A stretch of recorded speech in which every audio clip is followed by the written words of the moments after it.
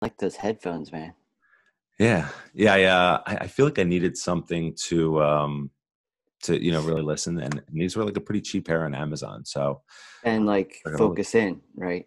Yeah, yeah, yeah. It's it's better to hear this versus um you know coming through the computer, which I've tried a couple times. So little by little, I'm like you know yeah building up. So uh so yeah. So thanks for being here. Um I've been wanting to, to catch up with you for a little while, um, ever since we met, um, just to give people a little idea of um, you know what your background is. You're a creative director over at um, QVC, um, mm-hmm. which is really interesting during this time. Um, you know, you guys are, uh, you know, how are you doing? Like pretty well uh, at this point compared to you know, the retail space in general is, is suffering a little bit, but yeah, I think that I think overall the company's pretty healthy. Mm-hmm. you know, it, it was um, like in a in a pretty good space before, but from during this uh, crisis and everything, like it seems that it's because everyone's home all at once, and um, QVC has a bit of a, a, competitive advantage with being able to broadcast right into people's homes. Um, you know, the the company's still still healthy, and it's interesting because people aren't don't consume TV like they used to, you know, like flipping through the channels and like see something and they stop and watch it. I mean, some people still do that, I mm-hmm. guess. Mm-hmm. I don't know. Um, for me, I'm always like really particular about if I'm going to go and watch something, you know, I don't like click through, but, um, even with QVC just running a broadcast 24 7 and if someone is clicking through or if they're scrolling through their guide on their their system um, now that people are home, you know, QVC has a has that like 24/7 advertising as a channel and if people are just seeing it that it triggers them in their uh, subconscious and maybe computer for QVC or oh I saw that thing on QVC so it is actually um, a good thing um, in a tough time. Yeah, yeah, and it's and it's something the more I'm thinking about it, it's, it's you know something that's there, it's consistent. You know these these hosts become you know people's uh, you know friends more or less, and uh, you know uh, there's a lot of people out there. You know a lot of people are, are coming together, families. You know I've heard um, you know people just, you know different um, sons and daughters are getting furloughed, so they're coming back home mm-hmm. to their mm-hmm. parents' home and and you know having their grandchildren around things like that but then there's also the other side of it where there's single people or by themselves who you know might appreciate something um, consistent like that. So I thought that was pretty interesting. You know, thinking about yeah, it is at this time aren't across the board, you know, the same. No, yeah, and I think that people who were watching prior to all of this are especially watching now because it is like some of their routine and that like host is still there even if they're broadcasting like we're talking right now because they've been doing that you know people have been you know um, calling in via video chat and you know the, the host does the show or a guest does the show from their home while they're broadcasting which is kind of cool yeah no that is uh I mean, I guess all the networks are doing that type of thing, but to to do a, a sell or like talk about a product or whatever seems like um, interesting, you know, approach. Yeah, and that's what I've always found interesting about QVC. Like even around you know Christmas and and all that time, I always find myself watching it because it just amazes me. I was just talking to my buddy about this yesterday, and I was like, it, it amazes me how much they could talk about some of these products you know for you know hours it feels like you know just an ipad or something something very simple but you know they make it just seem like wow like that is you know it comes with this. So you know i really i give a testament to those people you know um that, that can do that. I mean obviously it's their job but it, it is a skill. And uh and yeah to be selling in this environment is is weird but also if you do it the right way i think people do appreciate that. You know if you give them some entertainment or you know really are giving them value even though yeah. I might not be the target audience but right. And and i'm not either. You know it definitely is a female target audience yeah. Um, and I was just gonna say that um, one of the QVC's like brand attributes is like authenticity and just being real and being authentic. And I think that's what people like are connecting with on mm-hmm. the show is that the host they are themselves and they have that like ability to talk about one product for hours on end like when, when you say that i think of like my brother-in-law or an uncle who like you see and they could like just talk about one subject to you forever. Do you yeah. have someone like that in your family? I have a brother-in-law and i love him uh, but he can go on and on about you know the one thing that comes up you know? And and that's that's incredible that people can do that. You yeah. Know, i wonder sometimes like what what could i really talk forever about? And it's tough i have a lot of different interests but i guess you know what what are some things that you know you feel like if you were you know qvc host like what could you get up there and talk about for a while? Like what would be one of those yeah. things? the first thing i think i could definitely talk about would be like music equipment. Okay. Like if you're a guitarist or a dj or a drummer um like i'm uh a musician and love to play music and i was a dj in philadelphia for you know all through college and even after college for a long time. Um, and you know that that made me really get into like the uh, equipment like amps you know turntable like all the stuff like yeah. um, i've spent countless hours researching that stuff and trying it out and sending it back. So i feel like if uh, all else fails i could you know sell music equipment oh, music equipment. yeah. So what, what do you think? So I guess you know, given my setup, it's pretty it's pretty basic. Um, and me just coming into this, it, it, there's kind of a learning curve with it, right? I mean, to understand yeah. all this, I'm not, you know, yeah, really inclined towards understanding music. Like, what are your thoughts on on that? Yeah, I mean, you have it. The mic is important; it's really important piece, and you. It sounds great, you know. So from my from the way I'm hearing you, it sounds really good. Any background noise and stuff like that. So that's awesome. Um, and you know, there's other things that if you wanted to like broadcast it to yourself instead of being in headphones, like would you use um, like reference monitors or like full range monitors and where would you place them and that sort of thing that would come down to like the design of the room itself and that's that's also another interesting thing but since you're in the headphones like you can control and contain that environment virtually right. know, and, and have it sound uh, and, and recreate really anything you know we could be in a church or a, a hall like you, we could figure out how to make it sound like that. Yeah. That's so, and that, that's the interesting thing about that. Yeah. Um, the one the one thing that maybe you'll you'll get to um, purchase next would be a compressor right? That you would hook to your mic in case like you start laughing really hard or um, you know like the volume gets really loud it it would keep it at a um, a comfortable range for the listener to hear without distorting the sound okay so yeah i've seen that option in um in garageband when i'm yeah. like through an editing and and you know there are so many things in there i'm like i have no idea what this stuff does and i'm just sitting there tweaking i'm like this sounds a little mm. tinny like i could hear my voice you know breathing um so it's it's such a it's such a wild thing like for anybody that's that's starting up a podcast and, and has this equipment and never has seen it before.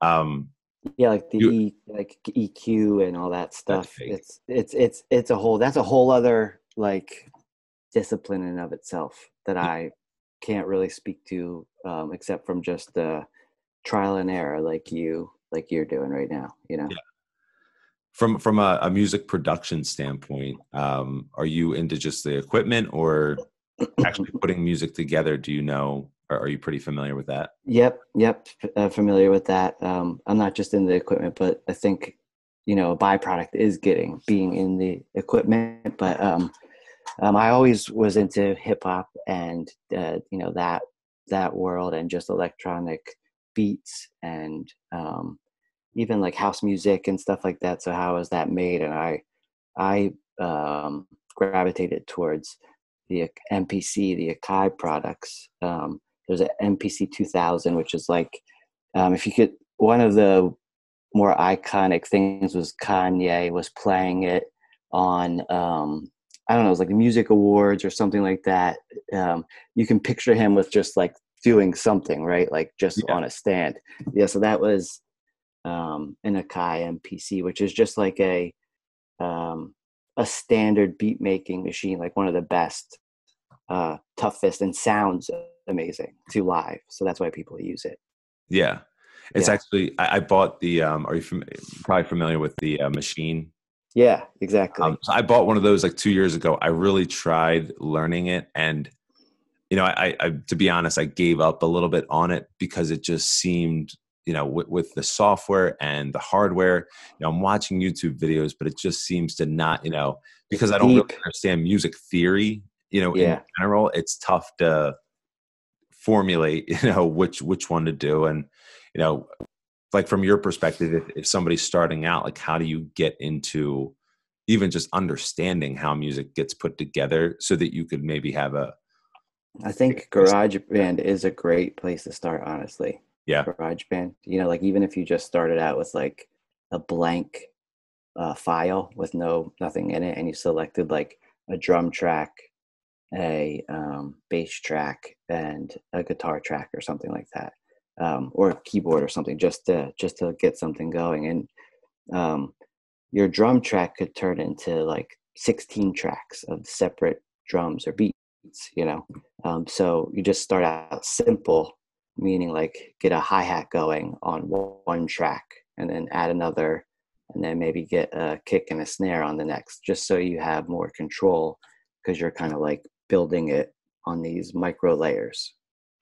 yeah that's that's you know there's no real um you know because I've, I've explored a lot of the youtube videos to figure out even creating my um theme song for this show Yeah, and you know it was more or less just like a one of those beats that uh you know it, it you know is generated by you know whatever the ai of, of yep, GarageBand. yep, Um, yeah, it, it's no one takes you through and says, okay, to make this, or just to make just any track in general, you know, add a drum track, add this, and like if you have these three things, you should have a nice beat. They just start throwing it together, and I think it's one of those tough things where it's it's tough to teach something.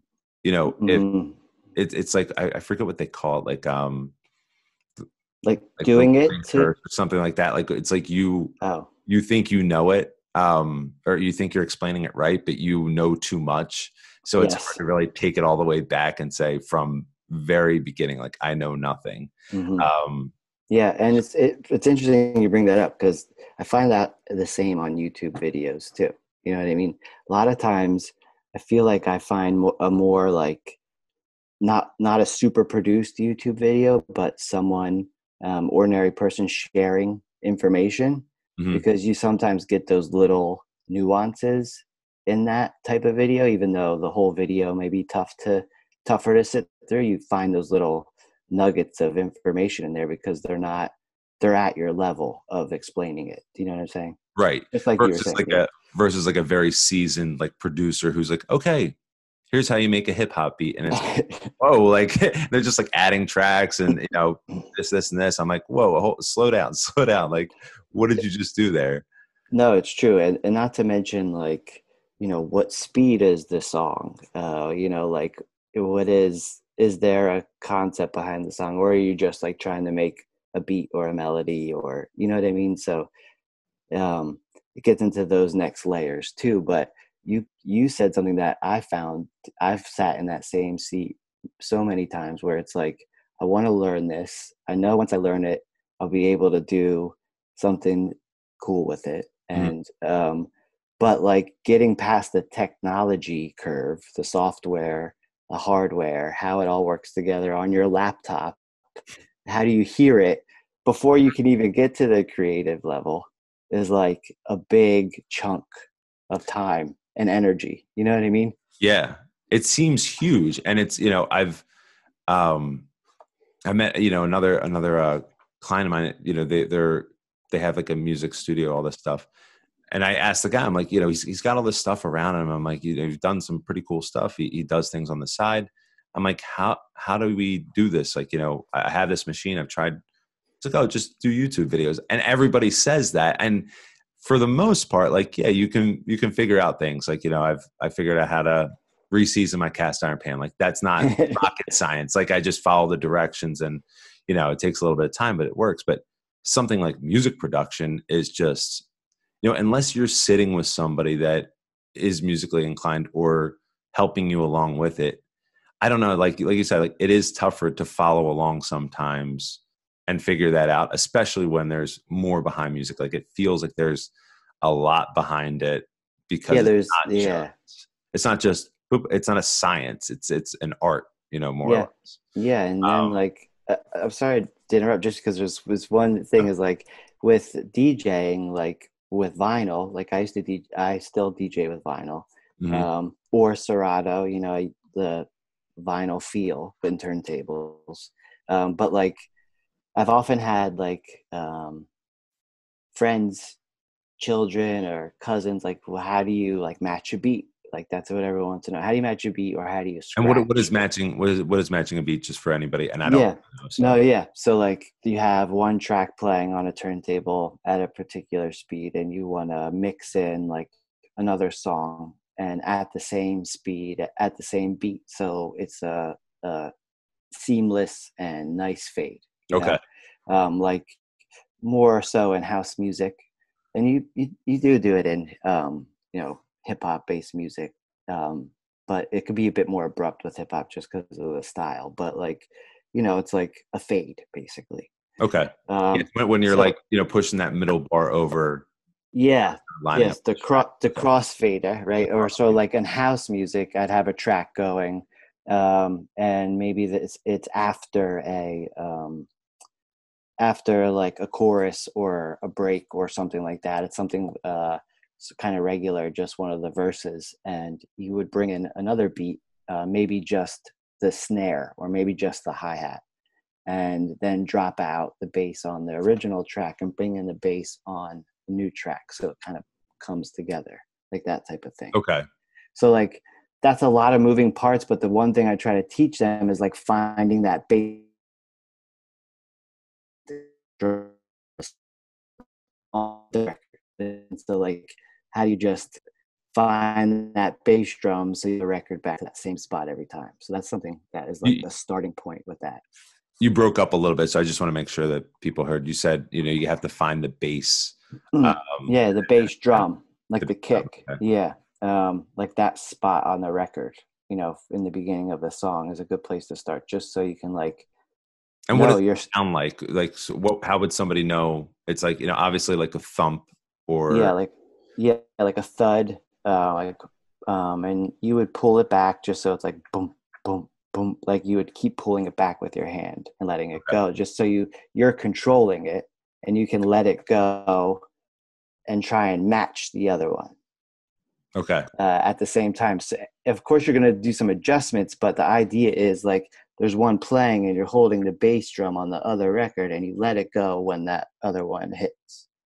Um, right. And then you and then you you tweak it, but like that's like the starting point for matching a beat and that's kind of like something that comes up and i forget what you said now like 10 minutes ago to me explaining that that triggered that but it was like the teaching someone from like stage one of uh of you know music production but music production. I, I kind of thought of it as a dj situation.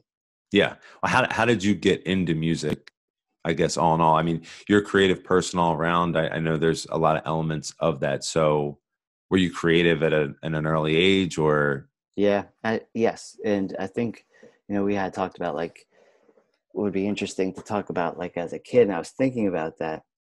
What was i into as a kid? And the only thing i can really remember being into besides normal kid stuff is like you know yeah artwork drawing houses um, and i always listened to records and headphones and like uh, played a guitar that had like two strings on it like just i was just into that stuff because it yep. was probably because it was like tactile and interactive and stuff you know mm. um, but that's what i was into as a kid like i'd go into the basement we had these two like toy air organs and like while everyone's upstairs like watching tv i'd be like trying to play songs and stuff so was, that's cool i was i was into music from a, a young age yeah were you are your parents musical or do you have brothers and sisters or I do. Yeah, my my brother was a drum is a drummer.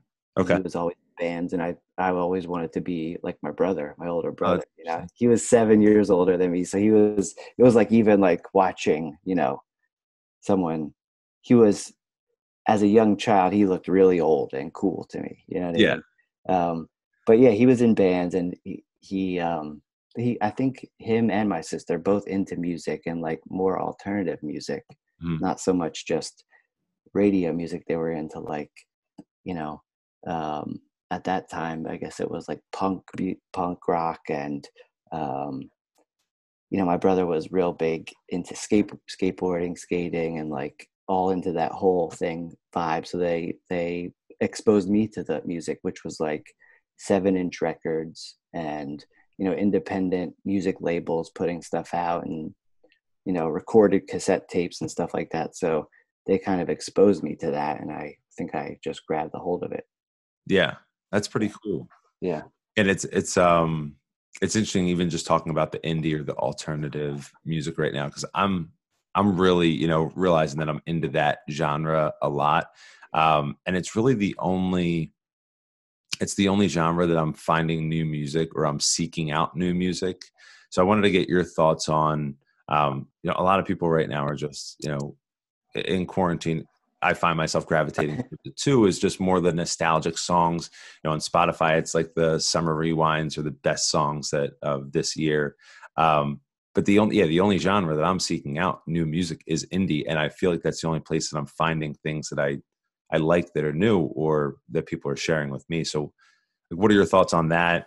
Yeah, it's kind of a mixed bag of questions, but it is. the nostalgia associated with music, and then also, you know, the importance of of listening to new new stuff. Yeah, I think yeah, I, I I think as a creative person, especially like when I find new music that I love, everything else like um is enhanced. Like Mm. I feel more creative, I feel sharper, like smarter, you know, like it really does make a difference for me.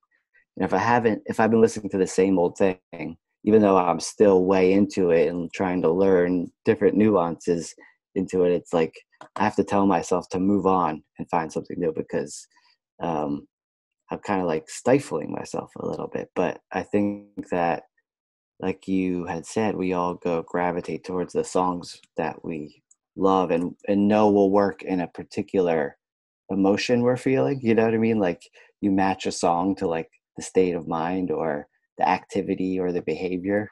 Right. Um, I know I, I do that, yeah.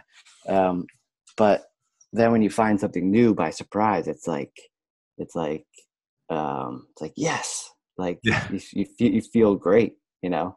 And even if it doesn't turn into like something you go back to all the time, it was just like a couple months you were into it. I still think it's like valuable, you know. Yeah. What's uh what's somebody that you like recently or, or a new artist? Yeah. Uh, so um, I'm a Tool fan, Okay. and um, I, I have a lot of different musical tastes. Um, I've always been a Tool fan because they're like a music maker's band. You know what I mean? Like they're like, if you like Tool, you probably like to make music because they're really intricate and they do like off timing and they spend years creating a song and you know what I mean? Yeah. and there's like there's like rationale and and meaning upon meaning in their songs you know what i mean so there's a lot there um so they had been quiet for like 10 years because they were wrapped up in a lawsuit um about artwork believe it or not um and Hmm.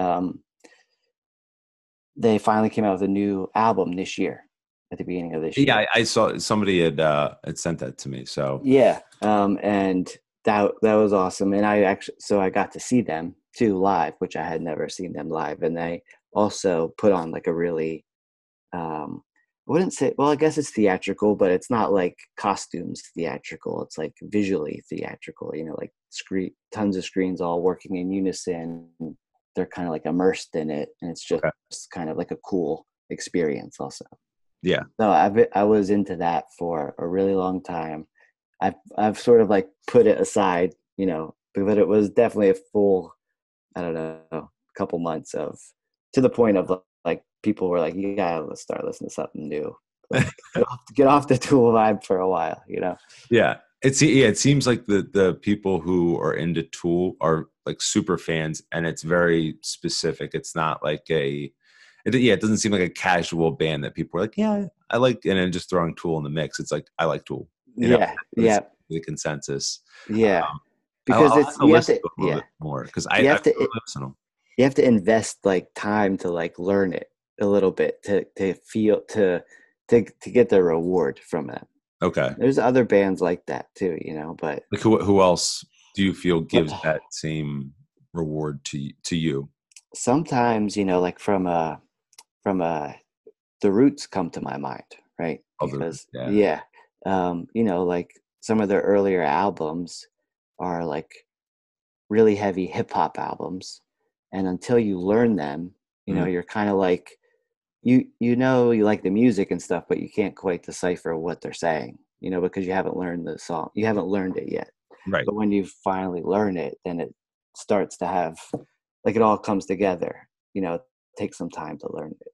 Yeah, I was actually trying to model some of their beats and and incorporate. That's good. My, yeah, you know, into my theme song because I was like, I just love like, you know, you got me. I was like, that would be an mm-hmm. amazing beat to kind of like version or sample. Oh yeah, um, I like that too, especially like, for an intro or yeah, whatever. Yeah, it's an amazing like, just very classic, and I don't, you know, it's pretty simple. It seems. It's not too intricate, but um, it is wild just you know modifying some of these things and it's you know it could be it could be something uh yeah. but yeah but yeah i'm trying to think. So then and then i like i use spotify mostly and it's um i always go the release radar or like new or like different like you know new music and i usually find one or two songs that are like i'm into and then i collect them in a playlist of that of that time, you know, and listen to the bunch of them together. Yeah, that's kind of how I listen to new music. When do you listen? Because uh, this is what I'm curious about. Listening to Release Radar, I love it, but I have to be in a certain place or doing something where it's like, um, you know, I'm either cleaning up the kitchen or something where it's a little bit more mindless. I, I realize I can't listen to Release Radar as easily when I'm like working or focusing on something because I, I either like quickly like dismiss it or I'm yeah. not paying attention to to what I'm really liking. So where where do you find best to listen to new music?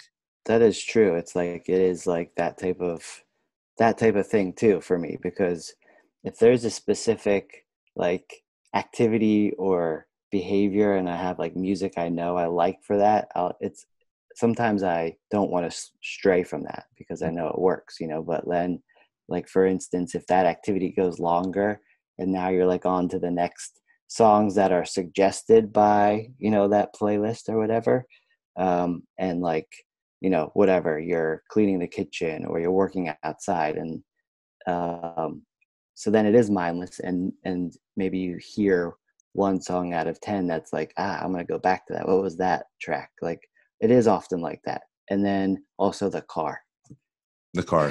Yeah. yeah. Which, which you know, I feel like I haven't been in. I know. I've been filling yeah. my gas tank in probably months now. So um, yeah, you should probably yeah. go start start it up and drive it around the block a couple times. Yeah, just to make sure. Yeah. Um, but yeah, that's that's what I always find with the release radar, which I like a lot.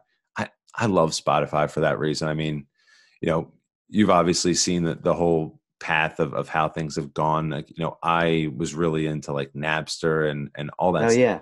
Threes were coming out and it's just, it's incredible to see like the, the leaps and bounds from then where it was, you know, obviously illegal. We're downloading it. Um, and now, you know, we had that period where people were trying to do stuff and then just all of a sudden, you know, they figured, oh, uh, it, yeah, yeah. figured it out. Yeah, exactly.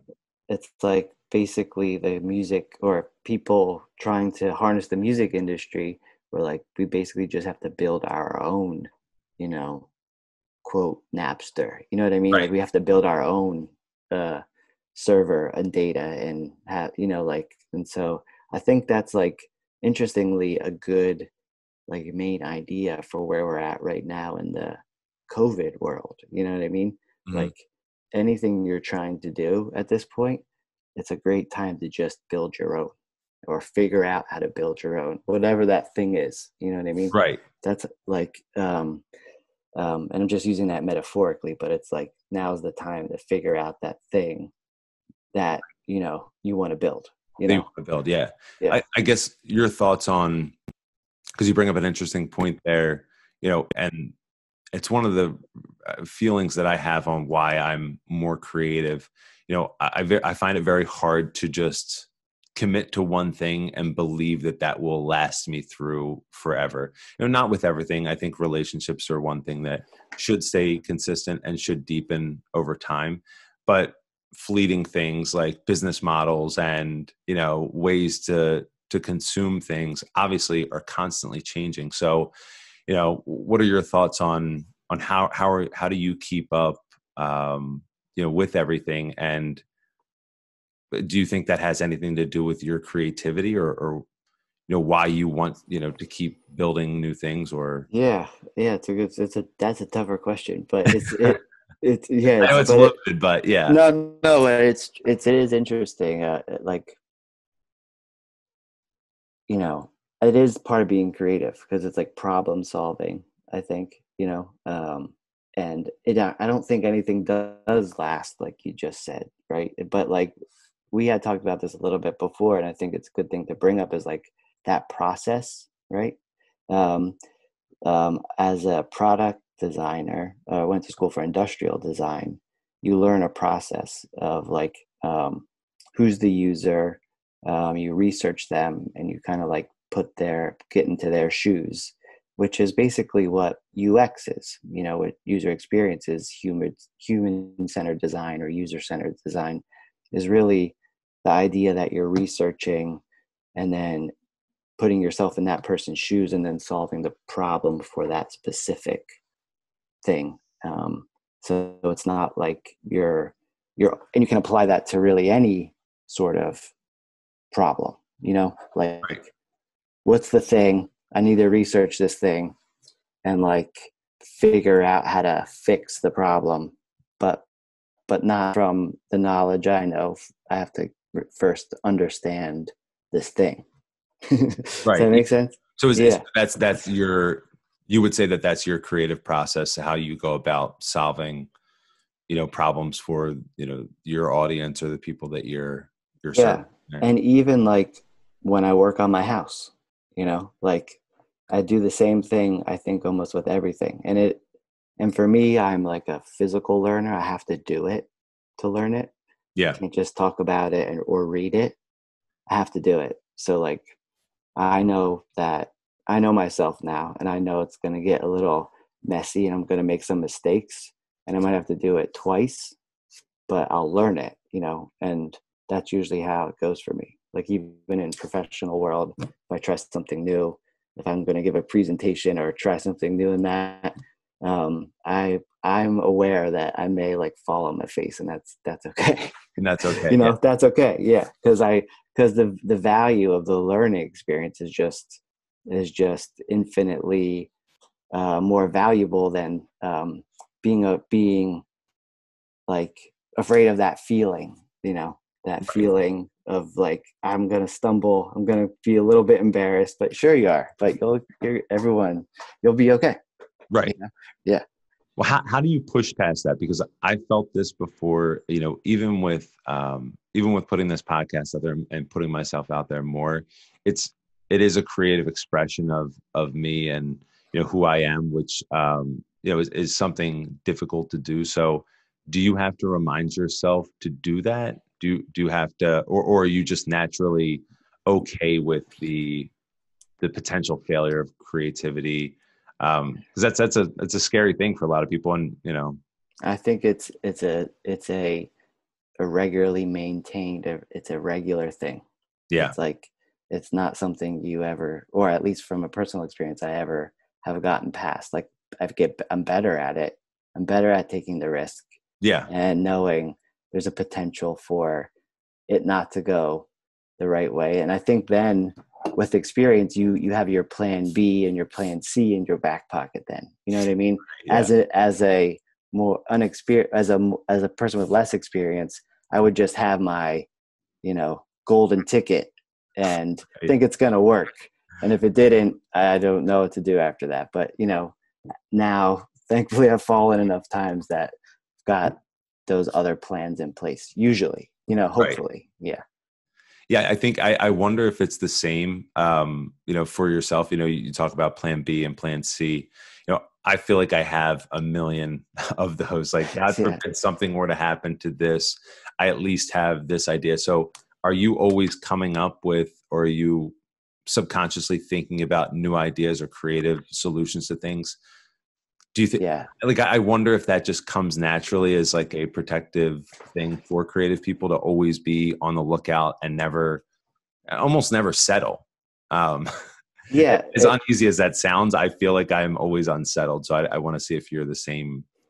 Yeah i think there's things that i'm like okay with letting go you know like for instance my own workspace right? I have big plans for it mm-hmm. and i like chip away at it but like I don't uh, give myself a hard time about it. But if it was doing it for someone else, you know, like I wouldn't settle till it was the right way. You know what right. I mean? But in terms of like always thinking about better ways or more improved ways or new things, I think that's, um, I don't know, it's kind of a gift, you know, as long as you know how to communicate it in a kind and um, you know caring way meaning like you're not bashing things you're oh, just oh, yeah. learning from them you know and i think that's a that's a reminder for myself too like at times i could put a cynic hat on and be like this thing sucks man. I'm gonna i i could do this better instead of like you know i'm glad they did this much work for me and i can take it from here and improve upon it you know? Right. Yeah. Yeah. Yeah i think that's that's important to know and and in that same you know uh light you know not to be hard on yourself or because sometimes i come up with an idea i'm in love with it and the next day i'm like i hate it. Like, but then it comes up you know two weeks later i'm like oh that's actually a pretty good idea. So it's i don't do have those ups and downs too where it's you fall in love with something an idea wise and then you're kind of out of it? I don't i don't know if yeah. That, what other people i think that's okay yeah i think that's okay too. I was going to say that this could get into a little bit more of a uh, what do I want to say? Not mystical, but like abstract side of it. You know, like for instance, where does where do those ideas even come from? And like, do you you know is that is that some sort of inspiration? Like, is that is that you connecting to you know data or information that's out there and all around us? You know, and you get an idea and the important thing is you act on it right? You have this idea um, you have this inspiration you should try it. You shouldn't shouldn't waste those you know? Right. and you may love it for a moment and then it's not the right thing and i think that's again the experience part where you learn how to self edit you know?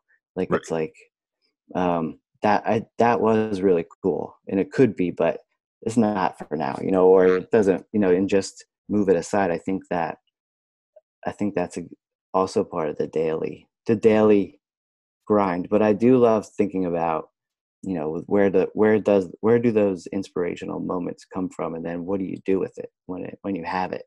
Right. I yeah i think that would be interesting to explore. Like if you wanted to do like another episode we could kind of take that topic and yeah. maybe expand upon that a little bit more. Because it's always something i'm like where do these ideas come from? And yeah. I, I, don't know that, you know, not everybody that I talk to has the same feeling. And I'm like, I can't stop these. Like they, they just, you know, are f- flooding my mind constantly. And, you know, I'm always trying to weed them out. So I, you know, if you're interested in the same, like maybe it's something we could explore. Absolutely. I mean, I would say that you're, you're, you know, you're connected to something, you're a connected individual, you know, you're, you're grounded. And I think you're, you're, receiving that information because you're you're available and oh, and you want it you know? Right yeah.